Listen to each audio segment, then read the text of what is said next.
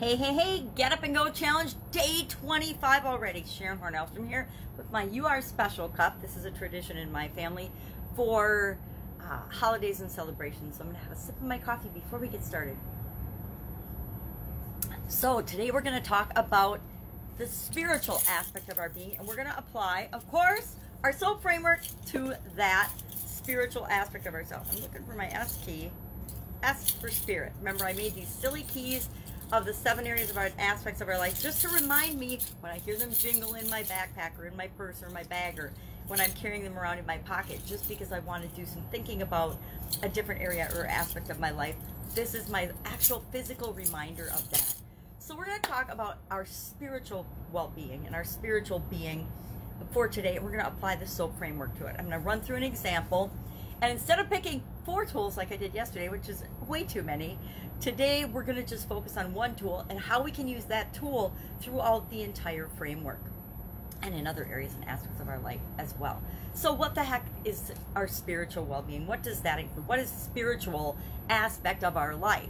Well, it might be religion. It's going to be different, of course, like all of these for each of us. It might be religion. It might be the spiritual you, the big you, the, your soul, um, your inside, your your little being versus your big being. Your big being is your is your soul or your entity, the the part of us that is obviously very difficult to describe and explain, but it's and then it's our connection. It's not only just about us. It's our spiritual being is about us, but it's also about how are we related to and connected to other people, other entities, other spiritual beings. And usually we discover that through religion or other forms of, uh, not necessarily forms of worship, but through other growth and development and ways of understanding ourselves better. I think a lot of our spiritual growth, at least in my opinion, is about understanding ourselves better, what makes us tick, who we are, what we're here for, you know, the biggest questions in the universe,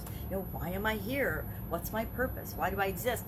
I think fall under the spiritual aspect of our being. So how can we use our SOAP framework to become whatever it is we want to become with respect to spirituality? Now I want to focus on things that feed and fuel my my being, fuel my soul. And so I'm I'm going to say especially during COVID-19, a lot of the traditional ways that I was able to do that, for example, people like to attend services or mass or have gatherings or get-togethers where they share their spirituality. Common groups of people tend to come together or congregate and that helps us to feel more connected to other people as well as more connected to ourselves, which is about being more spiritual. So our tool today, I'm going to jump to our tool and then we'll use it throughout the SOAP framework, through all the S, the O, the A, and the P as we talk through them. But our, our tool today is going to be meditation. How can we use meditation to enhance the SOAP framework and enhance the different areas and aspects of our life that we want to improve. I'm not going to say improve because most of us don't want any area or aspect of our life to get worse. We usually want it to get better. Uh, so I'm just going to assume that that is true for you as well although I'm very well aware of the dangers of assuming. So let me grab my magnifying glass so I can actually see what I am doing today. So soap, our soap framework. So let me think about my spirituality. Remember, soap is our our story, our situation, our options, because we want to do something. We, we know what our story is, but if, if we're thinking about it or we're wanting to improve it, obviously it isn't exactly what we want yet. So we're going to want options and, and possibilities of what we can do to fill the gap from where we are to where we want to be. A is the action we're going to take, and P is, of course, the the progress we're making. Are we moving toward what we want or away from what we want? So how can we apply this SOAP framework to our spiritual well-being? Well, the first thing I like to do is, is break it down to not my overall spiritual well-being, but what's a specific thing, a specific area I want to work on, or a specific result I want to see uh, and move toward. Because again, spirituality is a big topic, just like all these other areas and aspects of our life. Our physical well-being, our our finances, our relationships, everything is not just one little thing and, and then you know we used to think at least we did when we were young that if only if this happens then i'm going to be happy only if another specific thing happens, I'm going to be successful. And as we get older, we learn and we realize that that's not true. It's, it's a culmination of a lot of things that contribute to our feelings. So let's say, uh, what do I want to work on? since a lot of the and what I here's what I like about meditation, why meditation is a great tool.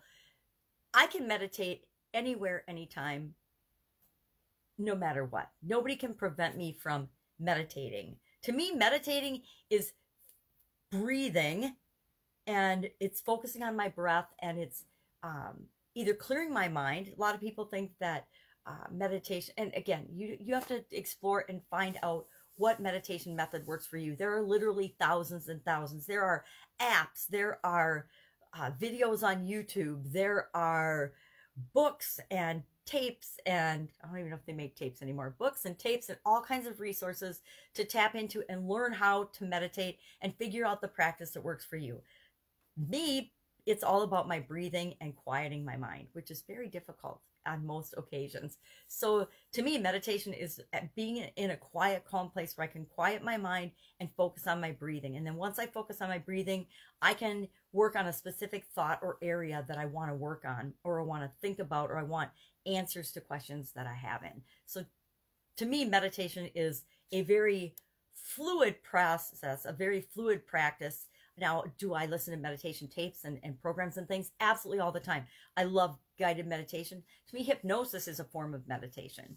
So find what works for you, but let's run through this whole framework and, and say, okay, well, how would meditation help in this? So what's my current situation? For our S, it's always, what's my story I'm telling myself right now? And what do I want my story and situation to be?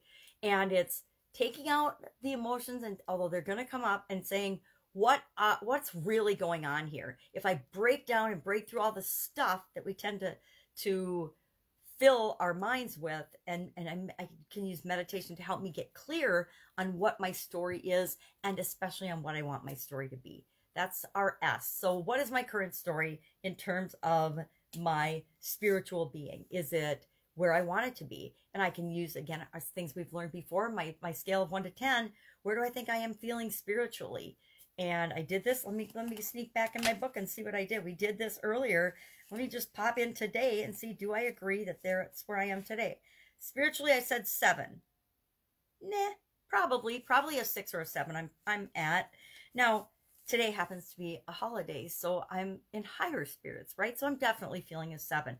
But I want to focus on what feeds and fuels my soul, things that make me feel good, things that uh, and experiences and activities that move me in the direction that I want. And I want those things to actually feel positive, feel good, feel like they are connecting me to other people, that they are um, having me show up as the kind of person I want to show up as, that I'm being kind, that I'm being open, that I'm being um, a resource and a tool for other people to to feel better about themselves, never worse about themselves.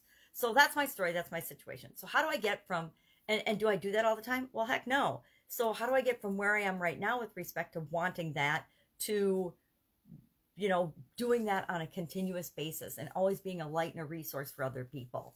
Uh, so then I'm going to go into my, oh, right, my options. What are the different possible ways or options that and possibilities that I could use to go from where I am now, and especially during COVID 19.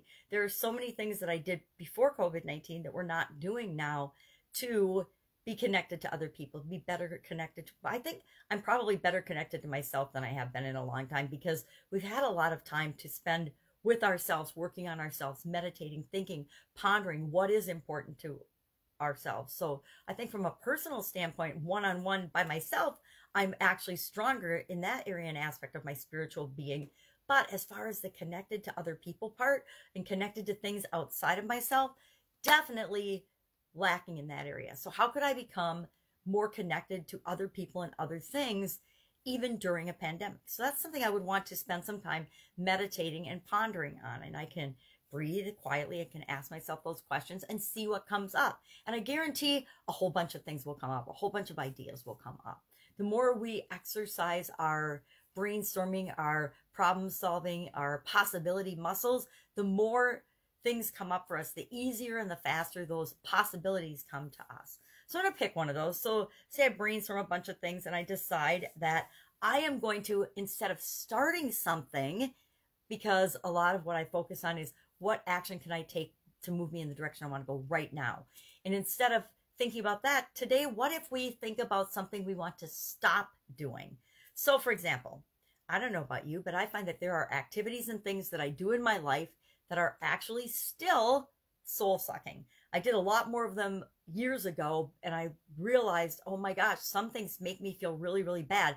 They're the right thing to do for my business or my family or my relationships or my situation, but I really, really don't feel good about them. I don't like them. And they're they're little things like housework and stuff like that.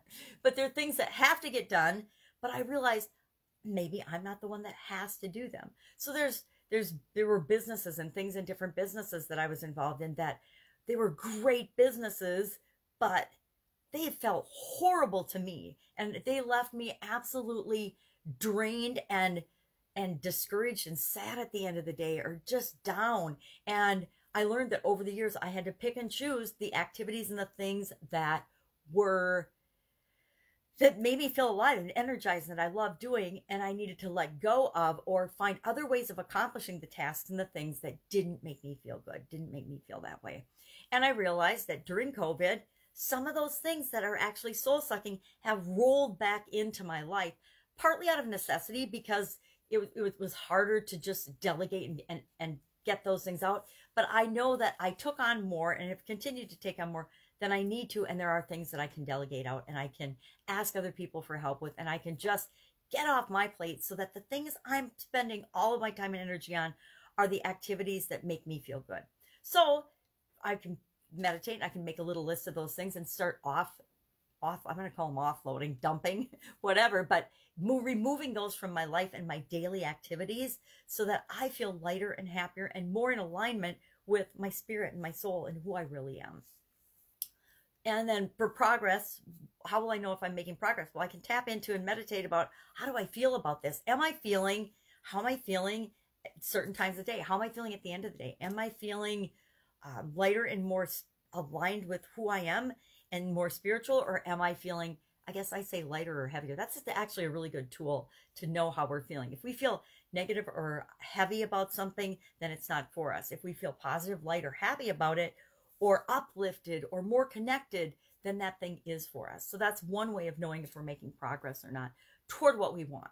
And sometimes we tell ourselves we want something and we find out that it makes us feel terrible. So we're really telling ourselves we should want something, but we don't necessarily want it. And that goes against our spirit, right? And this is all about who we are and, and what we want for ourselves. So what can we do for an action item today? I challenge you to pick one spirit related thing. Maybe it's, it's, my church is closed because of COVID and I really miss Mass. Let's run through the SOAP framework and find out how I can feel that connectivity and, and go to church or services or Mass remotely so that I can regroup and refeel that connection. But use it going through the SOAP framework or any problem or any challenge or anything that you want different with respect to spirituality and your spiritual well being. So do that, run through it, and then share in the comments below just how it went for you today. How did using the SOAP framework go for you today? I'm stumbling through it myself as I'm talking through it today. So realize it's that way for all of us. I've done it literally thousands, if not tens of thousands of times, but talking about it is a lot more challenging for me than actually doing it in my head or doing it in my notes and doing it in my notebook. So meditation is our tool. Spirituality is our, our focus today. Pick one thing, run through the SOAP framework. What's your story? What is it now? What do you want it to be? What are the possible ways of filling that gap from where you are to where you want to be? That's our O, our options. A, take action. Take action on one thing. Just pick one thing. We've we've discussed a lot of different ways of deciding what that one thing is, but maybe today just meditate a second or 20 seconds on it and say, "Hmm, which of the possible things I came up with sound right for me right now?" and then just do that thing. To me it was stop doing soul sucking things. That's exactly what popped into my mind as I thought about this today. So that's what I'm going to do. And then I'll know if I'm making progress on how I feel. Do I feel better? And I like to meditate, you know, 15 minutes. I like to meditate first thing in the morning and then about 15 minutes at night before I go to bed. It helps me fall asleep and just drift off and then work on things that I want to work on for my own different areas and aspects of my life while I sleep. And then I wake up with answers that I never knew that were hiding away in my subconscious somewhere. So that's what I do. So do this, do this today, and then just share. Did you have any hiccups? Did you have any challenges running through the process? Have an amazing day. I'll be with you tomorrow with another soap. I'm not sure if it's going to be mental soap, probably mental soap, mental or contribution. If you want, you can vote in the comments below. Have an amazing day. I'll be with you tomorrow. Bye. Get up and go. Go do this. See how it makes you feel.